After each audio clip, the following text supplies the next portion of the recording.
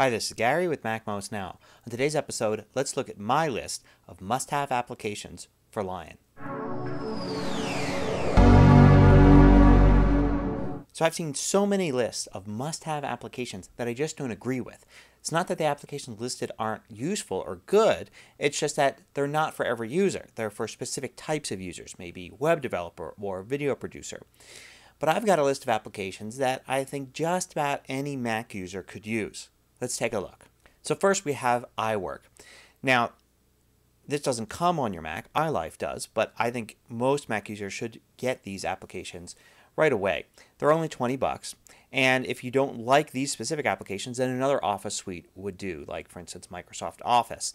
Uh, you can also find some free ones, but I find that for 20 bucks a piece, these are well worth it. Specifically Pages, because most users are going to have to write something, whether it's a report or a journal or an essay or just a nicer place to write an email or message to somebody before sending it to them.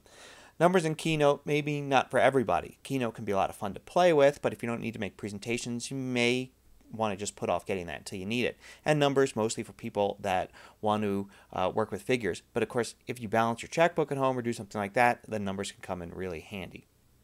Now, Jumpcut is a free extension that works perfectly in Lion. And what it does is it adds this little menu up here at the top. Let me show you what it does. You can copy something to the buffer, as you know, like I'll Command C, copy macmost.com there, and I could paste it below. I can copy something else, like an email address. Copy that, paste it there. But what if I wanted to actually have more than one thing in my copy buffer and be able to paste which one I want? Well, if I look up here at the Jumpcut menu, I can see that I've got both of the two things that I've pasted previously in there, and I could actually paste the one before the last. Or I can just copy as many things as I want. The more I copy, the more appears in here. And so you can see you've got this history of your clipboard. It's very useful. Another good one that does basically the same thing but has more bells and whistles is ClipMenu. Uh, Jumpcut is great for most users because it's very simple. It just works. ClipMenu has some advanced functionality. Both are free. Now the next four things I want to show you will add functionality to your browser. Now, if you don't have Flash installed on your Mac already, you're going to want to get it. And even if you do, you're going to want to probably download the latest version because there's always updates. You do that by going to get.adobe.com slash flash player. And that's where you can download it there. And while you're there, get the Shockwave player as well, which is get.adobe.com slash shockwave. Uh, this plays a lot of older content on the internet usually uh, and some 3D games that are on there as well. Both are free. You can just get them. They work great online. Uh, in addition to that, you're going to want to sometimes play back WMV files. These are Windows Media video files. They don't play back on your Mac unless you have an extension for QuickTime. Uh, you can go here to the this Microsoft page to get it.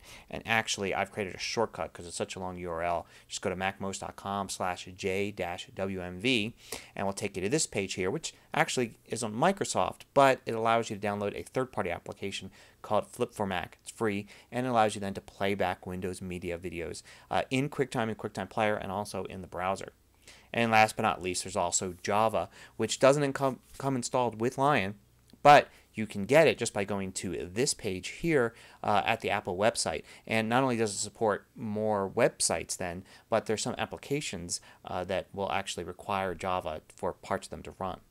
Now, Dropbox.com is another must have. Uh, it's free. Go to Dropbox.com, and I've discussed it in many videos in the past. And with iDisk going away next year, uh, it's great for users to have a way to post files online, to share files with other users, and to sync between your Macs. And last but not least, we've got 1Password, which is very important because it allows you to use strong passwords on all your websites and protects you from phishing attacks. So you can't be fooled to actually using a strong password on a site that's not the real site. Uh, this just costs a little bit, but it's worth every penny. There are alternatives, like for instance LastPass. But whatever you do, get one of these uh, utilities that allows you to use strong passwords and store them securely on your Mac. I also encourage everybody to check out my guide to online password security. I consider it a must read. It will teach you just the basic things you need to know to stay safe while surfing online so your passwords and accounts aren't stolen by others. So that's my look at what I install on a brand new Mac on the very first day. If you've got a suggestion, I'd love to see it in the comments to this post at macmost.com. Till next time, this is Gary with MacMost Now.